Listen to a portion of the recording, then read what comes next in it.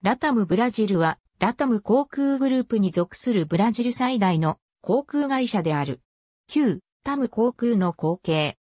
2010年8月に、チリのフラッグキャリアで、ワンワールドの主要メンバーの一社である、ラン航空に買収されることが発表され、2012年6月、経営統合され現在は、ラタム航空グループの傘下にある。これに伴い、2014年3月30日に、スターアライアンスから脱退し、翌31日にワンワールドに加盟した。航空券の座席予約システムは、アマデウス IT グループが運営する、アマデウスを利用している。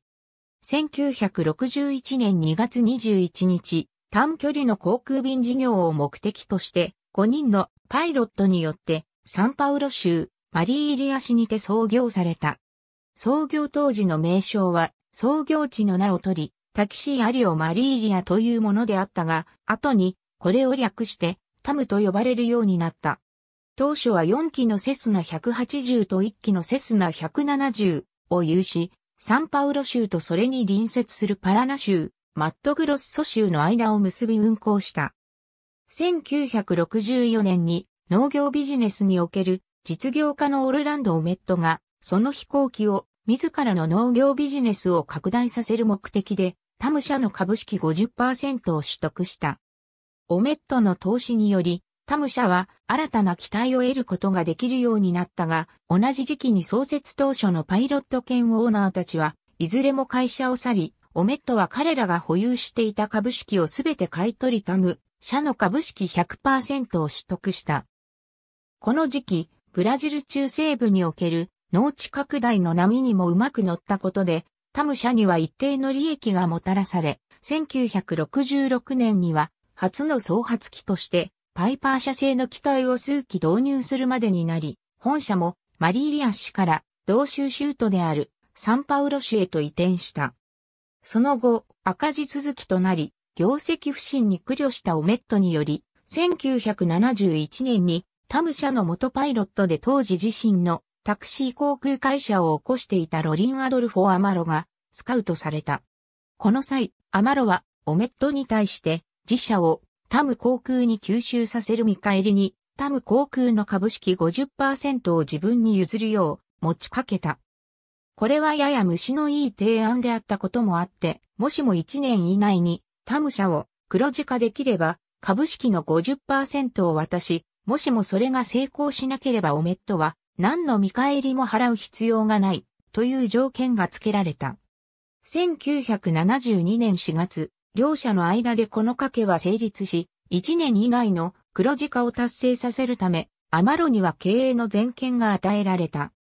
同年末、賭けに出たアマロはタムの既存の機体をすべて売り払い、セスナ社の本社があるアメリカ合衆国に渡り、2ヶ月もの交渉の末、10機のセスナ402型機の購入に成功した。これにより、オメットはアマロにタム社株式50%を渡し、この時点でオメットとアマロがそれぞれ株式の50%ずつを占める共同オーナーとなった。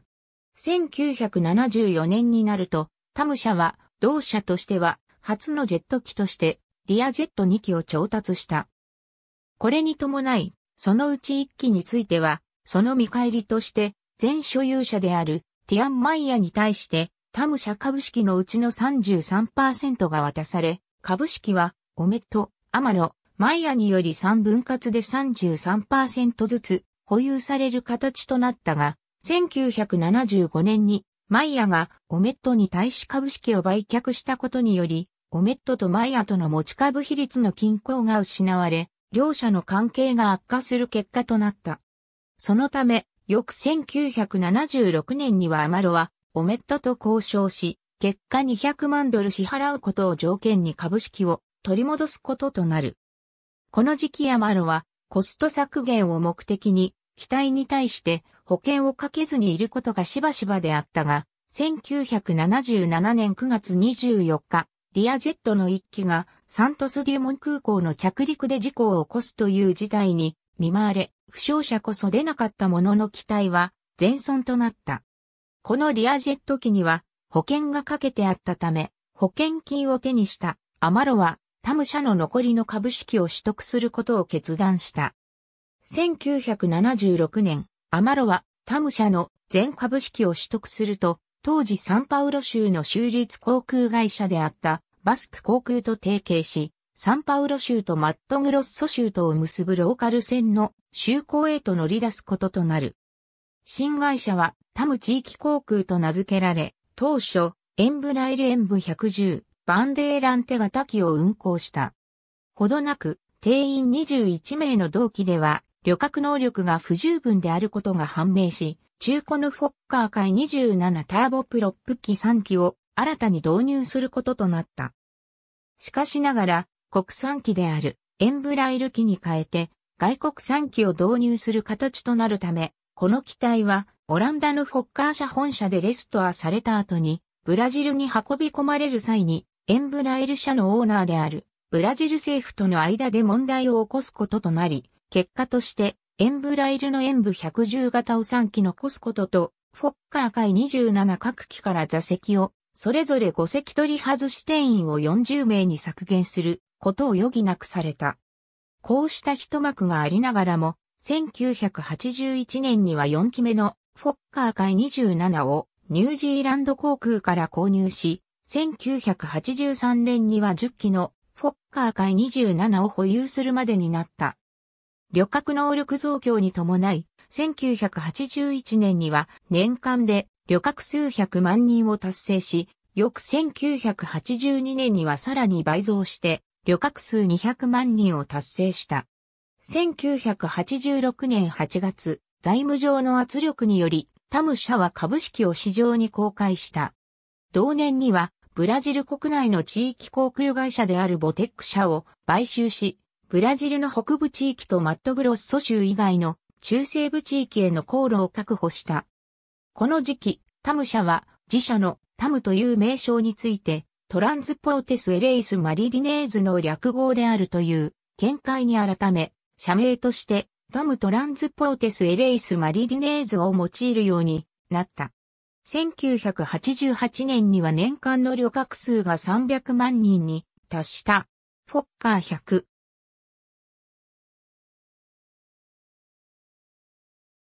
機種を問わず保有全機体の側面には、大具槍でセールブラジレーラとのフレーズが添えられている。タム社は自身の市場において一定の成功を収めたものの、1980年末の時点では、ボーイング737のような一機で100名以上を運べる機体を抱えるバリグブラジル航空やバスプ、航空といった航空会社に対しては依然として大きく離された存在に過ぎなかった。この時期、アマロはバスプ航空の民営化とともに、それを買収することを画策し、その計画のことを革命と名付けた。しかしながら、買収が不可能であると悟ると、自社の機体を徐々により大型のものに転換していくという、より緩やかな成長の道を選び、これを発展と名付けた。1989年9月15日、タム社はパンアメリカン航空から中古のフォッカー100を2機購入した。この機体は実際にはタム社が保有したわけではなく、資産運用会社であるギネスピートアビエーションによって保有され、タム社はそのリースを受けるという形をとった。これはギネスピートアビエーションとアマロとの間の個人的な信頼関係によって成り立ったものであり、1992年にはさらに2機のフォッカー100が就航することとなり、同年にはタム社の年間旅客数は800万人に達し、翌1993年には14機のフォッカー100を要し、56都市を結ぶまでに発展を遂げた。1994年にアマロはパラグアイに ARPA という名の小さな航空会社を設立し、208型セスナなど小型機を用いて営業を行っていたが、1996年9月、当時経営不振に陥っていたラプサエアパラグアイを買収して ARPA 社と合併させ、南米各国に就航するタムメルコ数社を設立した。タムメルコ数社の持ち株比率は、タム航空94.98%、パラグアイ政府5.02%である。また、2008年に社名をタム航空に変更した。現在、同社は3機のエアバス A320 を保有している。1997年、タム社は同社としては初の大型機としてエアバス社にエアバス A330.10 機、A319.4 機、A320.34 機、計45機を発注した。エアバス社からは即時に機体が供給され、同年中にサンパウロマイアミ間に同社としては初の海外路線を開設した。2年後の1999年にはヨーロッパへも路線を開き、エールフランスとコードシェアをし、サンパウロパリ間での定期路線を開設するに至る。その後も国際線の拡張を続け、ミラノやロンドン、ニューヨークやリマなどへの乗り入れを行っている。2000年には社名を現在の TAM Linhas Aéreas へと改称。2000年代に入って従来ブラジルの航空市場においてトップであったバリグブラジル航空が乱脈経営によって凋落したことに伴い、今日ではタム航空はブラジル国内の旅客シェアで50%を占めるに至り、これにゴル航空、ゴル航空参加のバリグが続く形となっており、知名度や路線網、歴史上の観点から事実上、ブラジルにおけるフラッグキャリアと言える地位にある。2008年に航空連合であるスターアライアンスへの加盟が決定したが、2010年8月13日にワンワールドの加盟航空会社であるラン航空がタム航空を買収することで合意。2012年6月22日に正式に合併した。合併後のグループ名はラタムエラインズグループ SA。新会社は世界11位の規模となる。なお、ワンワールドに加盟しているラン航空との航空連合一本化については2012年まで結論を保留する方針とされていたが、2013年3月7日にワンワールドは2014年4月から6月の第2四半期にタム航空がスターアライアンスを脱退し、ワンワールドに加盟すると発表した。また、ラン航空子会社のランコロンビアも2013年10月から12月の第4四半期にワンワールドアフィリエイトメンバーとしてワンワールドに加盟する。